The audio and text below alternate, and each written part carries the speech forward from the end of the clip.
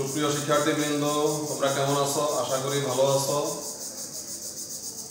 আমার নাম মোহাম্মদ মিজানুর রহমান প্রভাষক রাষ্ট্রবিজ্ঞান বিভাগ সচিবা ডিগ্রি কলেজ। আজ আমি তোমাদের একাদশ ও দ্বাদশ শ্রেণির দ্বিতীয় পত্রের দ্বিতীয় অধ্যায় থেকে উনিশশো উনসত্তর সালের গণঅভ্যুত্থানের আহ, গণঅভ্যুত্থান কি গণঅভ্যুত্থান কি কারণে ঘটেছিল এবং গণঅভ্যুত্থানের আহ, ফলে কি হয়েছিল তা নিয়ে আজকে আমি তোমাদের সঙ্গে আলোচনা করব।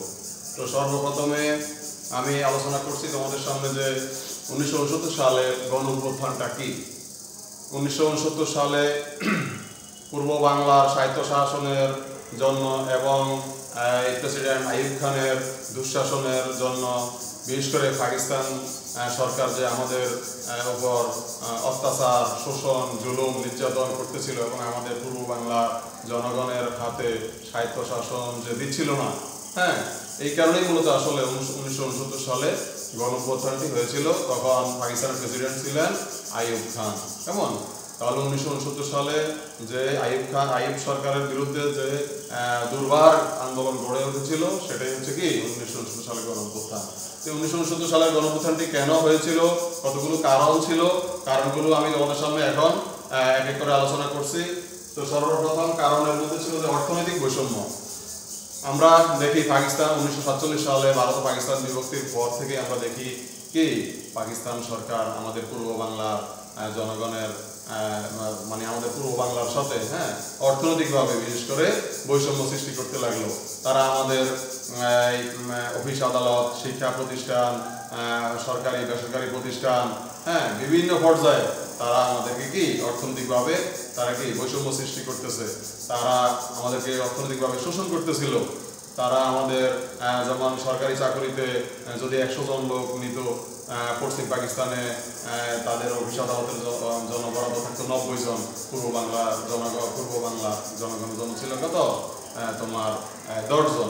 তাহলে এইভাবে বৈষম্য ছিল। তারপরে তোমার এই বিশেষ করে অর্থনৈতিকভাবে তারা কি আমাদেরকে শোষণ করতো? পূর্ব বাংলা যে আমাদের একসময় সোনালী আশ, পাট কলগুলো ছিল, এগুলো, আর এই এই মানে এই পণ্যগুলো বিদেশে বিক্রি করে পাট বিদেশে বিক্রি করে, প্রচুর বৈদেশিক মুদ্রা অর্জন অর্জিত হতো ওই সময়। কিন্তু এই পূর্ব বাংলার এই যে বৈদেশিক আয় এই আয়টাও তারা পূর্ব বাংলায় আয় হতো, কিন্তু তারা পশ্চিম পাকিস্তানে তারা কলকারখানা, শিল্প, কলকারখানা, অফিস, আদালত, রাস্তাঘাট, অবকাঠামো সব তারা তৈরি করতো। তারপরে পূর্ব বাংলার জনগণের হ্যাঁ তারা ভাগ্যের কথা কখনোই চিন্তা করে বিশেষ করে অর্থনৈতিক বৈষম্যটা ছিল কি, সবচেয়ে বড় কারণ। তারপরে আইয়ুব খানের মৌলিক গণতন্ত্র। আইয়ুব খান তো তখন পাকিস্তানের প্রেসিডেন্ট ছিল। আইয়ুব খান কি করল?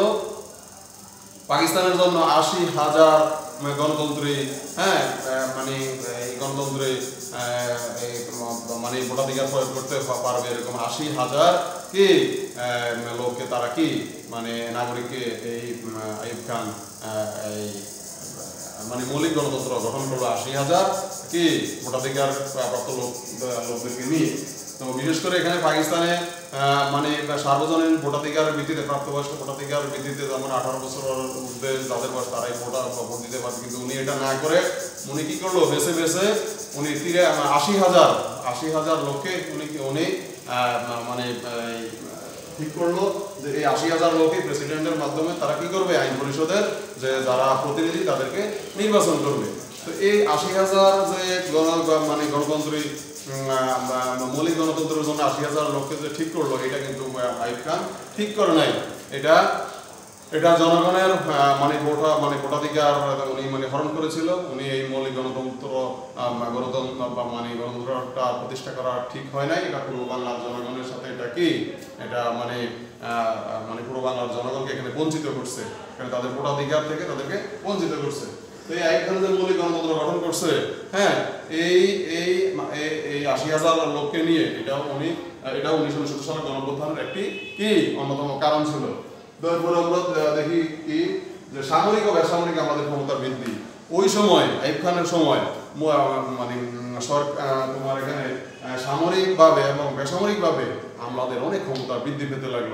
সামরিক তো বুঝোই যে মানে তোমার যে সশস্ত্র বাহিনী বিভাগ আছে কেমন? সেনাবাহিনী নৌবাহিনী বিমান বাহিনী তাদের অনেক ক্ষমতা বৃদ্ধি পেতে লাগল এবং আহ, বেসামরিক যে মানে বিশেষ করে সরকারি অফিস আদালতে যে আমরা ছিল সরকারি প্রশাসনের দায়িত্বে যারা ছিল তাদেরও ক্ষমতা দিন দিন কি? বৃদ্ধি পেতে লাগল আইব সরকারের শাসন আমলে। তো এই যে সামরিক এবং বেসামরিক আমাদের ক্ষমতা যে এত বৃদ্ধি পেয়েছিল ওই সময় এই কারণে উনিশশো সত্তর সালে গণপ্রথান কি হয়েছিল?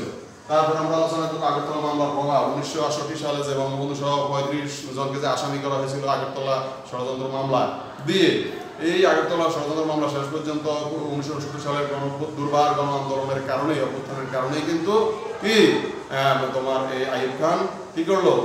এই আগরতলা ষড়যন্ত্র মামলাটি প্রত্যাহার করেছিল শেষ পর্যন্ত। তাহলে আগরতলা মামলা আগরতলা মামলার প্রভাবের কারণে উনিশশো উনসত্তর সালের কি গণপ্রথান হয়েছিল? তারপর সরকারের দমন নীতি। সরকার ওই সময় ব্যাপকভাবে দমন পীড়ন নীতি শুরু করল। হ্যাঁ দুই, তিন জনের বেশি একসাথে লোক চলতে পারতো না। তখন মার্শাল ছিল মানে সামরিক শাসন ছিল। পাকিস্তানে কি আইব খানের আমলে মানে সামরিক শাসন ছিল পাকিস্তানে। কেমন? তো এই সামরিক শাসন চলার কারণে পূর্ব বাংলার, আমাদের যে পূর্ব বাংলার যে জনগণ, তাদের কি মৌলিক অধিকার হরণ হোক মানে হরণ হচ্ছিল, মৌলিক অধিকার থেকে তারা বঞ্চিত হচ্ছিল। তারা বা তাদের জীবনযাত্রার মান এত নিম্ন পর্যায়ে চলে গেছে যে তা এই এই আইব খানের আমলে হ্যাঁ সামরিক শাসনের কারণে মানে পুরো বাংলায় কোনো কোনো দিক দিয়ে কোনো উন্নতি সাধন মানে হচ্ছিল না ওই সময়। তাহলে সরকারের ব্যাপক দমন নীতির কারণেও কিন্তু উনিশশো উনসত্তর সালে গণপ্রধান হয়েছিল। ব্যাপক দুর্নীতি, ওই সময় আইফানের আমলে তোমার সরকারি প্রশাস- মানে প্রশাসনে ব্যাপক দুর্নীতি হচ্ছিল। হ্যাঁ? তোমার এই সরকারের বিভিন্ন সেক্টরে বিভিন্ন পর্যায়ে বিভিন্ন প্রতিষ্ঠানে, কেমন? মানে রাষ্ট্রীয় প্রতিষ্ঠানে হ্যাঁ তোমার বা স্বায়ত্তশাসিত বা আধা- স্বায়ত্তশাসিত প্রতিষ্ঠানে কি তোমার বিশেষ করে সরকারি অফিস আদালতে প্রশাসনে ব্যাপকভাবে দুর্নীতি হচ্ছিল। কারণে উনিশশো উনসত্তর সালে গণপ্রত্যান হয়েছিল। তারপর আমরা আলোচনা করব কি ছয় দফা আন্দোলনের প্রভাব। উনিশশো ছেষট্টি সালে যে বঙ্গবন্ধু শেখ মুজিবুর রহমান যে বাংলার বাঙালির মুক্তির সঙ্গে ছয় দফা পেশ করেছিলেন, এই ছয় দফা আর প্রভাবেও হ্যাঁ কিন্তু পরবর্তীতে কি, উনিশশো উনসত্তর সালে গণপ্রত্যান হয়েছিল। কারণ ছয় দফা এমন এমন এমন ছয়টি দফা ছিল যে এই দফাগুলা আসলে পূর্ব বাংলার জনগণের জন্য এগুলা মুক্তির মানে দফা ছিল সোজা কথা কারণ এই ছয় দফার মধ্যে অন্যতম দফা ছিল যে লাহোর প্রস্তাবের ভিত্তিতে কি? লাহোর প্রস্তাবের ভিত্তিতে পূর্ব বাংলা কে কে, কি সাহিত্য শাসন দিতে হবে।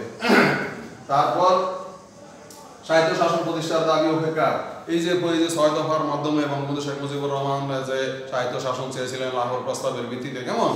এই এই সাহিত্য শাসনের দাবি কি? দাবির প্রতি তারা কোনো কর্ণপাত করেন নাই। তারা পাকিস্তান সরকার এই ছয় দফাকে কি গুরুত্ব দেয় নাই? বঙ্গবন্ধুর ঘোষিত যে ছয় দফা ছিল বাঙালির মুক্তির সনদ এগুলো বাস্তবায়ন ওনারা করে নাই। না করার কারণে পূর্ব বাংলার জনগণের মধ্যে এমনভাবে জাতীয় বোধ জাগ্রত হলো, এমন দুর্বার আন্দোলন গড়ে তুললো যে যে যে কারণে উনিশশো উনসত্তর সালে এই আন্দোলনটি কি গণ অভ্যুত্থানে পরিণত হয়েছিল? তারপর জাতীয়তাবাদী চিন্তা চেতনার প্রসার জাতীয় এই উনিশশো উনসত্তর সালে গণ অভ্যুত্থানের আরও একটি কারণ ছিল যে ছয় দফা দাবি যখন পূর্ব বাংলার জনগণের যে দাবি, মুক্তির দাবিগুলো মেনে নেয়নি পাকিস্তান সরকার, তারপর কি করল পাকিস্তান সরকার? আগরতলা ষড়যন্ত্র মামলা দিল আটষট্টি সালে। এই এই ছয় দফা এবং আটষট্টি সালের আগরতলা যে মামলা দিয়েছিল, এই এই সমস্ত কারণে কিন্তু দিন দিন পূর্ব বাংলার কি জনগণ কি ক্ষোভে পেটে পড়ল এবং তারা দাবি আদায় সোচ্চার হলো এবং কি তারা জাতীয়তাবোধে উদ্বুদ্ধ হতে লাগল এবং এই তখন পূর্ব বাংলার জনগণের মধ্যে জাতীয়তাবোধের এমন ভাবে মানে জাতীয়তাবোধ সৃষ্টি হলো যে পরবর্তীতে এই উনিশশো উনসত্তর সালে আহ, কি করতে তারা বাধ্য হয়েছিল। তো মোটামুটি এই এগুলো ছিল কারণ এখন আমি এই উনিশশো উনসত্তর সালের যে গণঅভ্যুত্থানের যে ফল এই উনিশশো উনসত্তর সালের আম, ফলে কি হয়েছিল আমরা এখন আলোচনা করব? তো সর্বপ্রথমে আমরা আলোচনা করার সময় বলি যে স্বৈরাচার বিরোধী মনোভাব।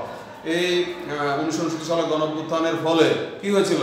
স্বৈরাচার বিরোধী একটা মনোভাব সৃষ্টি হয়ে গেল পূর্ব বাংলার জনগণের মধ্যে যে না আইয়ুব খান তো স্বৈরাচার আইয়ুব খান সামরিক বাহিনীর লোক সামরিক শাসন এই দেশে পাকিস্তানে চলতেছে, আমরা এই শাসন মানি না, আমরা আইব খানের আইব খানের শাসন মানি না। এখানে আমাদের পূর্ব বাংলাকে সাহিত্য শাসন দিতে হবে, জনগণের অধিকার প্রতিষ্ঠা করতে হবে, অর্থনৈতিক শোষণ থেকে আমাদের মুক্তি পেতে হবে, পাকিস্তানের সেই নির্যাতন, অত্যাচার থেকে আমাদের মুক্তি পেতে হবে। তাহলে কি স্বৈরাচার বিরোধী মনোভাব সৃষ্টি হয়ে গেল? যে কি, আমরা এই স্বৈরাচারী শাসন আমরা চাই না। পাকিস্তানের যে সামরিক শাসন তখন ছিল আইব খানের এই শাসন আমরা চাই না। তাহলে স্বৈরাচার বিরোধী তাদের মনোভাব সৃষ্টি হলো হয়ে গেল মনের মধ্যে। তারপরে বাঙালি জাতীয়তাবাদের বিকাশ। বাঙালিদের জাতীয়তাবাদ বাঙালিদের মনে জাতীয়তাবাদের বিকাশ ঘটতে লাগল। কারণ বাঙালিরা বুঝতে পেরেছে যে না পাকিস্তান সরকার আমাদেরকে আমাদের ভাগ্যের উন্নয়ন করবে না আমাদের পূর্ব বাংলার অর্থনৈতিক উন্নয়ন করবে না হ্যাঁ, অবকাঠামো উন্নয়ন করবে না আদালত করবে না স্কুল কলেজ শিক্ষা প্রতিষ্ঠান রাস্তাঘাট হ্যাঁ, যা যা প্রয়োজন কিছুই করবে না। মানে সোজা কথা পূর্ব বাংলার কোনো কি অর্থনৈতিকভাবে মানুষ যে সুন্দরভাবে জীবনযাপন করবে খেয়ে পরে বাঁচবে সেই দিকে তাদের কোনো লক্ষ্য থাকবে না। তাহলে এই জাতীয়তা মানে বাঙালি জাতীয়তাবাদের যে বিকাশ ওই সময় ঘটেছিল, এই উনিশশো উনসত্তর সালের গণঅভ্যুত্থানের কারণেই কিন্তু পরবর্তীতে কি পূর্ব বাংলার জনগণের মধ্যে জাতীয়তাবোধ সৃষ্টি হয়েছিল। তারপর আমরা আলোচনা করব আগরতলা মামলা প্রত্যাহার। এই উনিশশো উনিশশো উনসত্তর সালে গণঅভ্যুত্থানের কারণেই কিন্তু মূলত কি? তোমার এই আগরতলা ষড়যন্ত্র মামলাটি তারা প্রত্যাহার করতে বাধ্য হয়েছিল। কারণ উনিশশো উনিশশো উনসত্তর সালে কিন্তু গণঅভ্যুত্থান উনিশশো উনসত্তর সালে গণপ্রথান হওয়ার কারণেই কিন্তু মূলত উনিশশো আটষট্টি সালে সেই মানে পাকিস্তান সরকার হ্যাঁ এখন কি করল? এই বঙ্গবন্ধু সহ পঁয়ত্রিশ জন আসামিকে এবং সকল রাজবন্দীদেরকে মুক্তি দিতে বাধ্য হয়েছিল। কারণ ওই সময় যদি উনিশশো উনসত্তর সালে গণপ্রধানটি না হতো আইব খানের বিরুদ্ধে দুর্বার আন্দোলন না হতো, তাহলে উনিশশো আটষট্টি সালের আগরতলা মামলাটি প্রত্যাহার হয়তো হতো না। এবং বঙ্গবন্ধু শেখ মুজিবুর রহমান সহ পঁয়ত্রিশ জন আসামি মুক্তি পেত না এবং রাজমন্ত্রীরাও মুক্তি পেত না। তারপর আমরা আলোচনা করব আইব খানের পতন। এই উনিশশো উনসত্তর সালের গণঅভ্যুত্থানের মাধ্যমে কিন্তু আইব সরকারের পতন ঘটেছিল। কারণ আইব আইব খান ছিল সামরিক বাহিনীর লোক। সে সামরিক শাসন বা- পাকিস্তানে ছিল, মার্শালও ছিল। এখানে জনগণের কোনো মৌলিক অধিকার নিশ্চিত ছিল না। মৌলিক অধিকার থেকে জনগণ বঞ্চিত ছিল। বিশেষ করে পূর্ব বাংলার জনগণ জনগণের উপর তারা অত্যাচার, নির্যাতনের মাত্রা আরও বাড়িয়ে দিল। এই উনিশশো উনসত্তর সালে গণঅভ্যুত্থানের মাধ্যমে এমন দুর্বার আন্দোলন গড়ে তুলল পূর্ব বাংলার জনগণ। এই এই আন্দোলন শেষ পর্যন্ত গণ অভ্যুত্থানে পরিণত হয়ে গেল। এই গণ অভ্যুত্থানের ফলে উনিশশো এই গণ অভ্যুত্থানের ফলে আমরা কি দেখলাম?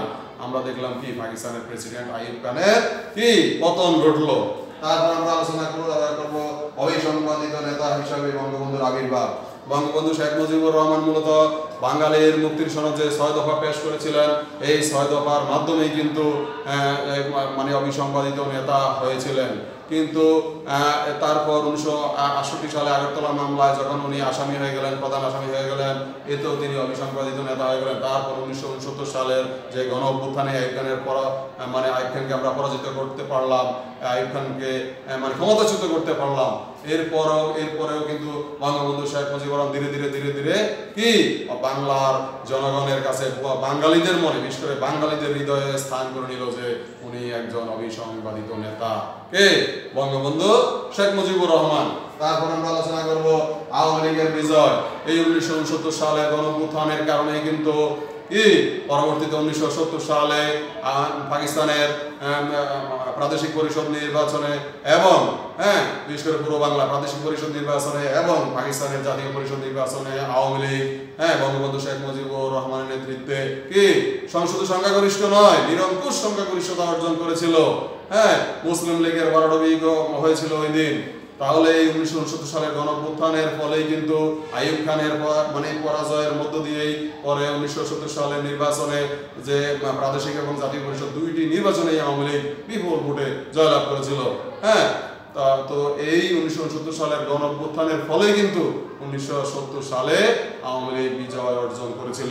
তাহলে, এবং পরবর্তীতে হ্যাঁ আস্তে আস্তে বাংলাদেশ কি সামনের দিকে এগিয়ে যেতে লাগল, আরও জাতীয়তাবোধে উদ্বুদ্ধ হয়ে হ্যাঁ? তো এক পর্যায়ে বাংলাদেশ কি করল? তোমার সেই সাতই মার্চের ঐতিহাসিক ভাষণের মাধ্যমে বঙ্গবন্ধু শেখ মুজিবুর রহমান স্বাধীনতার ডাক দিলেন। তারপর উনিশশো হ্যাঁ নয় মাস যুদ্ধের বিনিময়ে আমরা কি উনিশশো একাত্তর সালে ডিসেম্বর আমরা বিজয় অর্জন করলাম। তার মাধ্যমে? সেই হাজার বছরের সর্বশ্রেষ্ঠ বাঙালি জাতির জনক বঙ্গবন্ধু শেখ মুজিবুর রহমানের নেতৃত্বে। তাই না? উনি আমাদের জাতির পিতা, উনি বিশ্ব নন্দিত হ্যাঁ সারা বিশ্বে শুধু শুধু উনি শুধু বাঙালিদের নেতা নয়, উনি সারা বিশ্বের একজন গণতান্ত্রিক আমি মানুষের নেতা হিসাবে চিরদিন বেঁচে থাকবে। তাহলে আজকে আমি তোমাদের সামনে যে আলোচনা করলাম যে উনিশশো উনসত্তর সালের গণঅভ্যুত্থানটা কি কি ছিল, উনিশশো উনসত্তর সালে গণঅভ্যুত্থানের যে কারণ ছিল, কি কি কারণ ছিল কারণগুলো আলোচনা করলাম। তারপর তোমাদের সামনে আলোচনা করলাম এর ফলে কি হয়েছিল হ্যাঁ? তো আশা করি তোমরা বুঝতে পেরেছ।